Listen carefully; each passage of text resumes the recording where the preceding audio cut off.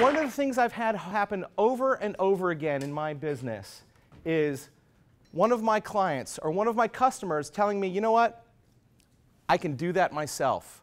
Or, I've got a nephew who can do that for me. And you know what I do when I get that, that response? Go for it. Enjoy. Try it out. Every single time I've invited somebody to do it themselves, they come back.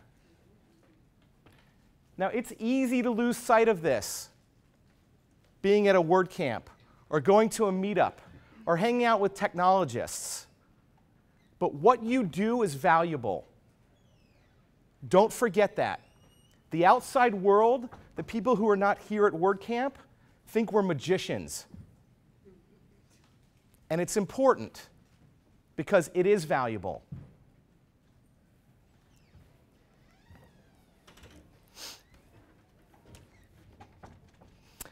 The one other note I had here, and I think this is relevant, raise your hand if you're under 30.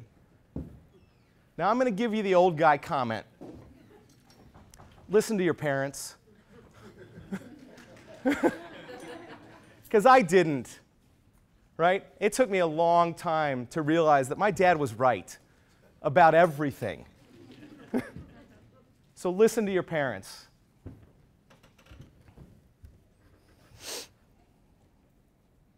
Before I got into technology, I was in the film industry. That's what my degree is in. My degree's in cinema. It's all I wanted to be when I was a kid. I wanted to make movies until I got to the film industry. and I hated every single minute of it. And I lasted about two years. And when I got out, the one thing I knew I was good at was computing. And so I wanted to get a job where I could learn the computer in and out. And I decided I'm going to go into graphic design. Now, I had no experience as a graphic designer. And I went and I responded to a job ad looking for a production designer. And I went, this was my last job interview. 23 years ago was my last job interview with Jeff Turner.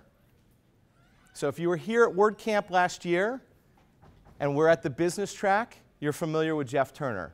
If you were at the business track at WordCamp OC, you're familiar with Jeff Turner. He's my old business partner. But this is my first interaction with Jeff Turner.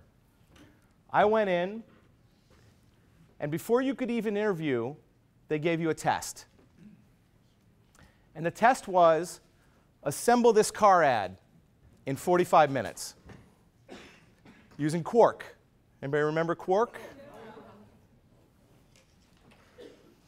So I was there for the interview with a trained, traditional graphic designer. And she had her portfolio. You remember the big leather black portfolio? She had all her pieces. I had nothing. I was just sitting there in a t shirt. And Jeff sat us both down in front of a computer and gave us a sketch of a car ad and said, lay this out in 45 minutes. I didn't have any design experience, so I just went for it. And I was actually pretty fast at the computer. So I just laid it out. And it looked like hell. And I remember in this interview hearing this other designer, because we were in the same room, huffing and puffing and stressing. I mean, you could, the, the, the air was so thick in the room because she was so stressed. I finished in a half an hour. In 45 minutes, she had one box laid out. What I learned during the interview is no one had ever finished the test. I was the first person to finish the test. The lucky part was is Jeff wasn't looking for design. He was looking for speed. And that's what I was focused on. Complete the car ad. I did it. Hired me on the spot. Six of us produced 40 ads a week. It was a skeleton crew, grueling hours. And we started at 5 p.m. We worked the graveyard shift. Sometimes my nights went till 5 a.m. the next morning. That was my shift. Monday through Thursday. And I loved it. It was great. I was part of a fantastic team.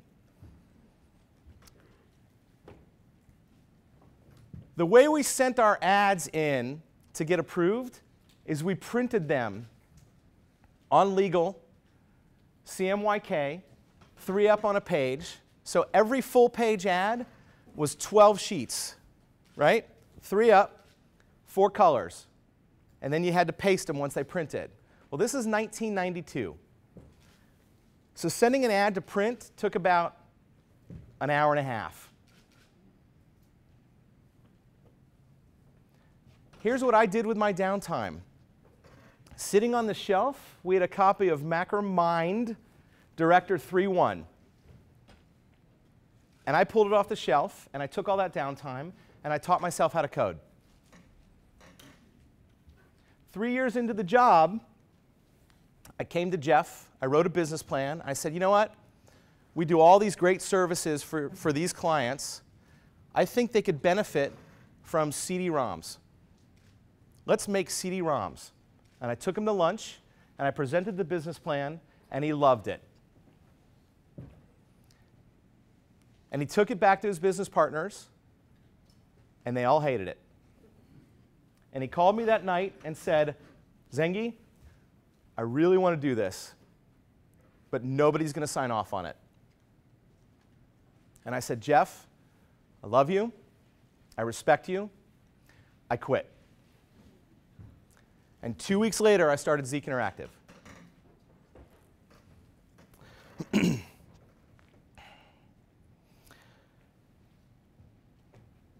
Don't be afraid to take risks.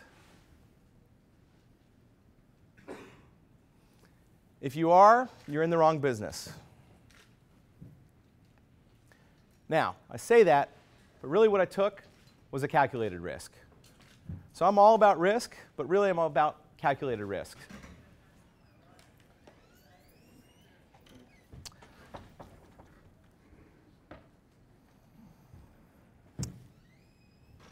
Once I started Zeek, I started with no clients, no prospects, no business plan, no money, nothing. Completely bootstrapped. I didn't make a dime for two years. But I stuck at it. And here's what happened. What I did during that time, during that two years, is I would talk to anyone that would listen to me about what I was doing. It didn't even have a name yet. It hadn't been invented yet. I was making it up as I went along. But the thing I got involved in really early on was a thing called special interest groups. That was the predecessor to meetups, SIGs. Anybody remember a SIG? Yeah. exactly. So there used to be a, a, a um, an organization called the LAMG. It was the Los Angeles Macintosh Group. They were in Santa Monica. And I started attending the Macromedia Director SIG because that's what I was good at. And very quickly, the organizer of the SIG, Richard Jenkins, realized that I was the technical expert in the room. And so he would start calling on me for the technical parts of the, uh, parts of the, of the meetings. And I started leading a dev meetup, or a dev SIG. And then I took over the general SIG. And I became the guy. I became the Macromedia guy in town. Well, the LAMG used to hold a conference called Mac Fair in Burbank. And because I was giving back to them, they decided to give back to me. And that one year in 1997 at Mac Fair, they had an open booth that nobody had bought. And they said, Would you like this booth? I said, Absolutely. I had no idea what I was going to do with this space. But again, I would talk to anybody that would listen about what I did. So my business partner at the time and I set up what we called the Shockwave Lounge. That was our booth. We got two of the nastiest couches you'd ever seen that we found on the side of the road. We put them in this booth. We got a very nice coffee maker and a, a coffee table, and on the coffee table was a Mac. And as people walked by, we welcomed them in to just take a load off so that we could show you our portfolio. Again, I had no idea where this is going to lead. And everybody that came in the entire weekend said, wow, this is fantastic. I have no idea how to hire you. I don't know what to do with you. You don't have a place, but it's cool. Until 4:30 on Sunday afternoon. A person sat down by the name of Linda Keeler. And we showed her our stuff, and she said, I've been looking for this. She said, I'm working on a website right now for a Michael Keaton movie, and I need games. And you guys are the only people I know that know how to do this. Come to my office first thing Monday morning, and we'll discuss the contract. And we got our first paying gig off of that for the movie Multiplicity. Anybody remember that movie? so we built five games for Multiplicity, and that put us on the map. And here's what happened we got hired to build five, and we built four. And we forgot about the fifth. Until the last minute, when the account manager called us and said, Where's the fifth game? And we had worked hard on all, five, on all four games. I mean, they were great games. And she said, Okay, what's the fifth? And we were a week away from deadline. And over the phone, I said, Oh, we've got it. Not to worry. Punch the clown. And she said, What? So these games were stress test games. That's what these were. So the idea behind the website was you take these, these, these stress tests, you realize that you're stressed, and you need a clone. That was the gimmick. It was multiplicity, right? So we built all these stress test games, and Punch the Clown was this stupid idea that came out of my head. Do you remember the old blow up toy clowns that you punched and then they rocked back and rocked, and then you punch them again, and they, that, that was the whole game. It was this clown that was bouncing around the screen, and you touched it, and it rocked back, and then rocked forward, and started all over again. That was the whole activity. I programmed, I des we designed and programmed this game in one day. And that was the game. That was the game that took off. That was the game that Macromedia featured as their site of the day. That was the game that won us awards. This stupid little game. And we became the Punch the Clown guys. So we'd go into meetings and people would say, It's the Punch the Clown guys. So you never know. The one thing I wanted to, the point I wanted to make here is a lot of people say to me, Oh, you're lucky. You've been doing this for 20 years. That's lucky. I don't believe in luck. I believe that you create your own luck. So had we not been sitting there in, and had that booth at the, uh, at the Mac Fair, we would not have had the opportunity to meet Linda Keeler and get our first job. That's not lucky. That's just creating opportunities. so how did I get into WordPress? 10 years ago, a friend of mine was working at an ad agency up in the Bay Area. And he called me, he said, I've got this guy in LA that's going to do some ad, we're going to do some advertising for, and he needs some web work. Go, take, go have lunch with him. And I said, sure, not a problem. And so I set up, um, I set up lunch, and we went to Typhoon at Santa Monica Airport. Anybody ever been there? Sure. Absolutely. Great, great Thai restaurant on second level of, of Santa Monica Airport. And the guy I was meeting with is a gentleman by the name of Andrew Breitbart. So if you don't know who he is, passed away recently, he created the Drudge Report. I didn't know it at the time, but I was sitting across the table from about the most powerful man in politics. He controlled the cable news. To me, just a dude. So we're sitting, we're talking. He grew up in Brentwood. I grew up in Woodland Hills. We're talking about, you know, our past. We're, you know, we've got some similar upbringing. And we order a couple of beers, and we're shooting the shit. And the, uh, the waiter comes around and says, Should I bring some appetizers? And we said, Yeah, sure. You want spring rolls? You want this? You want that? You want scorpion? Yeah, whatever. I figured that's just the name of a dish. Before I know it, while we're talking, this server sets down in the middle of the table two scorpions. Actual scorpions. Cooked scorpions. And we both pause. We stop short in the middle of the conversation. And we're staring at two scorpions. And so I did what you should do in that situation. I said, on three.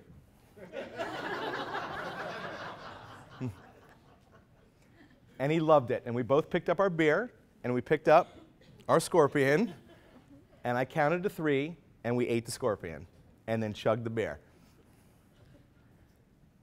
It was the nastiest thing I've ever put in my mouth. And right after he was done swallowing the scorpion, he said, You're hired. and Andrew then proceeded to introduce me to every single one of his friends. And an endorsement from Andrew was gold. I never wrote a proposal, I never submitted a bid, I was just hired. I'd go into these meetings and they'd said, You're a friend of Andrew's, you're hired. Moral of the story eat more scorpion.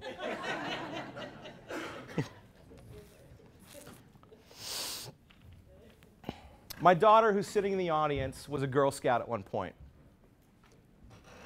Raise your hand.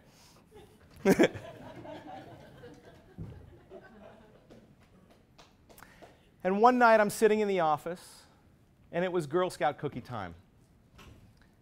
And if, you, if you've ever been the parent of a Girl Scout, you know that you end up with about 20 boxes of Girl Scout cookies, right? You end up buying all the surplus. So I bought them, and I brought them to the office, and I'm working late on a deadline. Everybody else is gone, and I go into the kitchen looking for a cookie. I like the Samoas. They, actually, they're, caramel delights. Excuse me, that's more politically correct now. and the only thing left in the kitchen is thin mints. I hate thin mints. and I went back to my office, and this was seven or eight years ago, and I posted onto Facebook of all the Girl Scout cookie flavors, thin mints suck the most. oh, yeah. Oh, I know.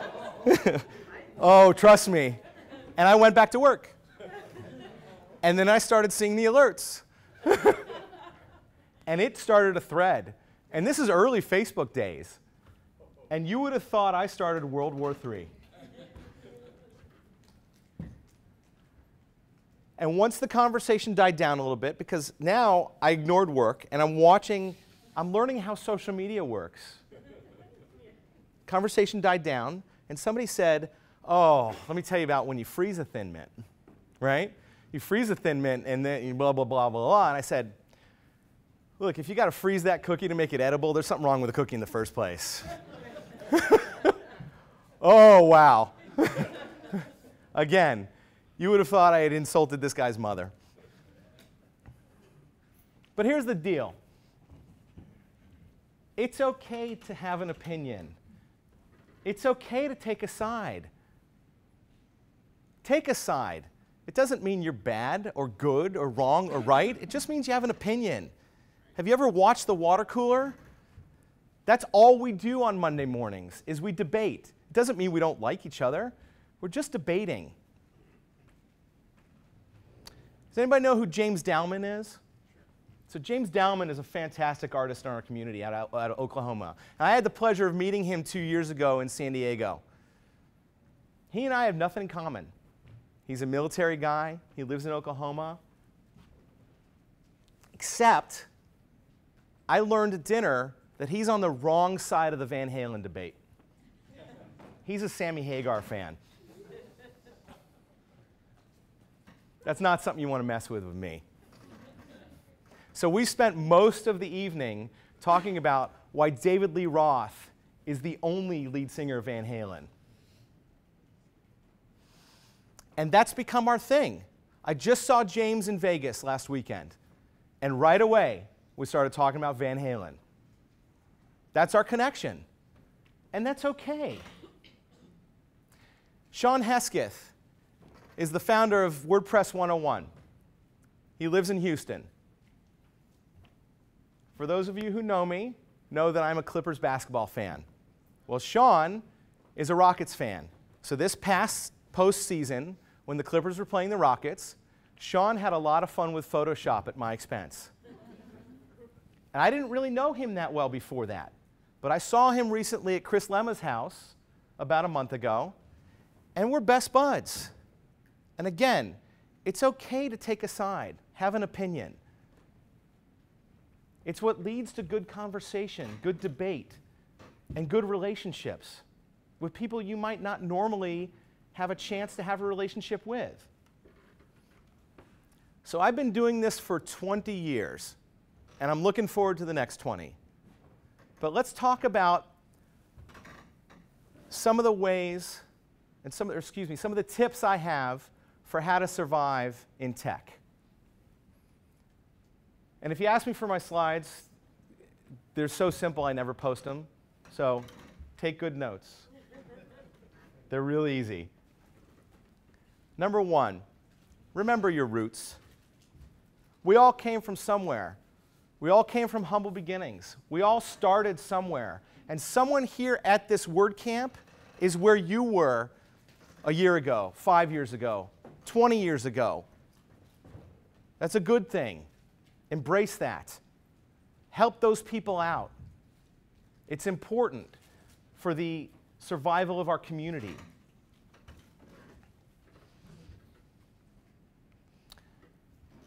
Be altruistic. Whatever your motivation is, make sure it's for, for the good of the community, for giving back. If your motivation is anything else, it's not going to feel authentic. So I lead the OC WordPress meetup, and I've been doing it for six years. And I founded it on the premise of developing a community and giving back, and actually helping, find peop helping people find jobs and projects. So this is an important one. Fail. If you're not failing, you're not trying. To use a sports analogy, you miss 100% of the shots you don't take. Here's what's important you need to learn how to fail to succeed. And I know this sounds cliche, and I know you hear this over and over again. My other daughter, who's in the audience, raise your hand. this is her first year playing soccer, and they won their game this morning. And I've coached, I've been an AYSO coach eight times. This is my eighth time coaching in AYSO. The AYSO's philosophy, everybody, from, anybody familiar with the AYSO? No. Everybody gets a ribbon? Yes, everybody wins. Yes, participation ribbons. Everybody gets a trophy, everybody wins. I don't believe in that. I still coach AYSO, and I will put on the right face when I'm coaching. But I tell my girls and my kids, you know what's really fun? Winning. That's really fun.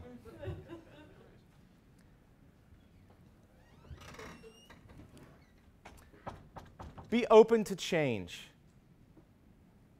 I've pivoted several times in 20 years. I started out as a CD-ROM company, and that died the day I started Zeek. It's actually to the day. No, that's not true. So we pivoted and we became a Shockwave company, online games. Did that for five years. Noticed that as we were building games, our clients were asking more and more for full websites. So we turned ourselves into a full web developer in 2001 and then took on WordPress when I met Andrew Breitbart uh, about 10 years ago. About seven years ago, I took on mobile.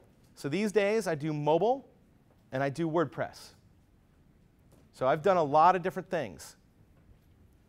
10 years from now, and I know we're at a WordCamp, we may not be talking about WordPress. Things change. Be open to it. I'm hoping that we're talking about WordPress from 10 years from now. I'm not saying, I'm not saying we won't be, but things do change.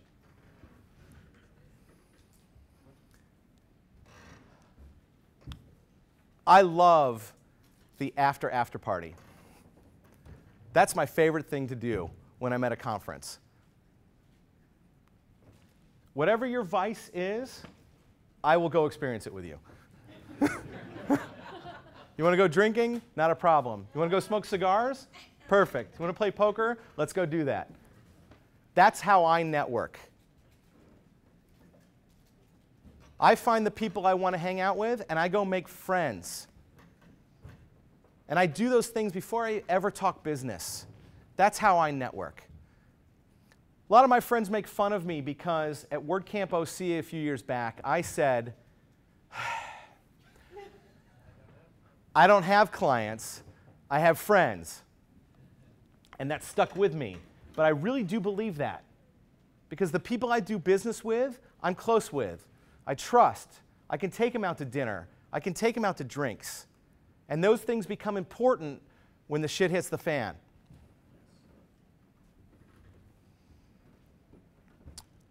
Surround yourself with good people. I've been very, very fortunate over the years that most of the hiring I've done has been really top notch, smart, quality, hardworking people. I learn a lot from the people I surround myself with, both colleagues, friends, business associates, and my employees. So, whatever you do, surround yourself with good people, smart people. I like to hire people that are smarter than me.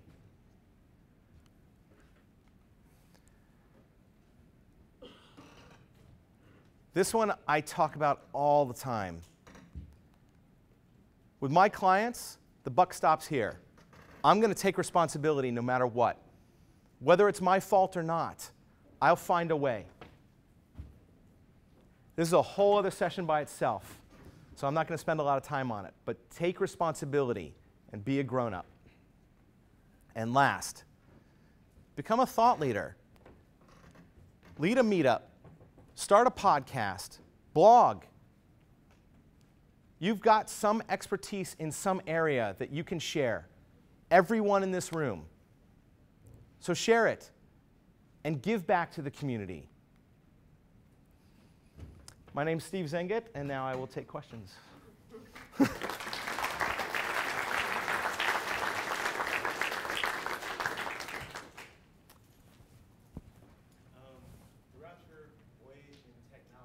What's that? Throughout your ways in technology, it seems like you said you had some ups and downs and some things you experienced. Uh huh. Out of all the routes that you had, which one would you pick out to say helped you the most and why? Let's see if I understand the question. Out of, out of all the, the turns I've taken over the years, which one helped me the most? Which one? From the conversation you just had, Uh huh. it seemed like you had some ups and downs. I did. throughout Your tech career. And at the end, you gave us a list of tips for surviving. Which one of those tips helped you to survive the most? Ooh, good question. So which one? I think they I think they're all important, but I think I'm, I'm really sort of focused on uh, altruism, right? Giving back, being selfless. And here's why. Because if your motivation with meeting somebody or going into a meeting or anything is business first, making money, greed, it's going to come off as false, right? It's going to come, come across as um, disingenuous. So the, the, the reason I point to that one is because that's more of an internal belief, right? You have to believe that to be able to portray it. Right? I really do want to give back. I really do want to help my clients. Those are things I actually believe. And because of that, when I take a meeting, they know I'm there to help. Or when I'm meeting, you know, when I'm meeting somebody, if I'm networking, you know, they know I'm there to help them as well. Yep. How do you decide it's time to pivot? How do you decide that it's time to pivot? Well, I think uh, bottom line is a good indication, right? So, are you making the same money that you were making last year, last week, right? You know, are you seeing are you seeing things change? Are you think, seeing different trends monetarily? I think that's a good indication, right? Are your interests changing, right? Is the industry changing? You know, sometimes um, you know I see the technology that we develop become commoditized. That's a good indication that it might be time to you know, find a different expertise or find something else that you're offering or maybe move into products. Depends. So it's going to be it's going to be a different answer for everybody in this room. For me, it was always technology driven. You know, we were forced out of director because director died. There was just no more director work. It dried up. There was a period I missed in there where we were Flash developers for a short period, right? And Apple killed that opportunity pretty quick. So it's going to be a little bit different for everybody. Yep. Uh, what's the difference between failing unsuccessfully and failing successfully? What you learn. So the question was, what's the difference between failing successfully and failing unsuccessfully? It's your takeaway, right? Everybody fails. It's, and that's a, that's a good thing if you learn from it and if you don't make those mistakes again. And you may make the same mistake over, you know, a few times. But again, as long as you're learning from those things, that's what's important. So it's your takeaway that sets you apart. If you keep doing it, do the same thing over and over again, wait, isn't that the definition of insanity? yep. Yeah, so uh. Thank you. Um, this, like, Oh my God. have learned to adapt quickly and successfully over the past 20 years, so um, in terms of uh, giving something to us right now to, to think about, what, do- what are you thinking about in the next five years in terms of your next positioning in terms of technology and where you're trying to head, or where you think it's going to head? Right now, I'm trying to stop sweating. But the, um, in the next five years, um, I'm looking toward mobile opportunities, right? So I'm looking more toward mobile apps, things like that. Um, I, I think that's where the opportunities lie right now, right? Website work is still going to be there. It's always going to be, that's just sort of consistent for us, right? But as far as services go, we're, we're really looking toward mobile. It's where we've been looking for a couple years anyway. I think there was an exciting announcement last week uh, with the new Apple TV. So Apple TV just announced that you can do apps on, on the new Apple TV that's about to come out. I think that's exciting, and I think there's just going to be more and more development in the mobile space. So if you're not already thinking about mobile, you should be, whether it's from an app standpoint, from a responsive standpoint, from a website standpoint, anything. Mobile's where it's at. Just ask this man. I'm pointing at Scott Bolinger. Uh, when it comes to, re- you said you've always hired great people. Can you just share your thoughts on how to attract those people, how to retain them, how to get rid of them if they're not there, if they're not great?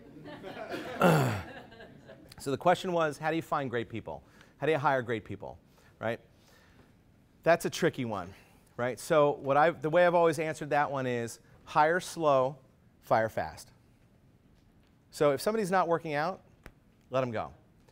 The, the thing I look for when I'm hiring is not so much technical expertise. Obviously, that's what got him in the door, right? But I'm looking if somebody's a good fit with our team, right? We have a certain culture, right? We have certain sense of humor uh, with our team, and they have to fit. And if somebody's not the right fit, it's pointless to, to work with that person, right? Because the team's got to gel. Does that help? Yep. Uh, Going back to the last question about predicting where technology is going, what do you think about the impact of companies like DigitalOcean, where you can have virtualized environments, you can create an image, you can go ahead and put WordPress and extract plugins, and all that? You know, what kind of impacts that going to have with the self-hosted model, uh, preparing for the self-hosted model? So the question was more complicated than I can answer for the camera. So that's a very good technology question. I partner with hosts. So I have two hosts that I partner with. That's WP Engine and Pagely. And they handle all my hosting needs. So I don't have an answer to your question. Apologize. What else? Yep. Uh, where's the after, after party? As, as I mentioned, I have my daughters with, here, with me here tonight. So next year. All right, thank you very much.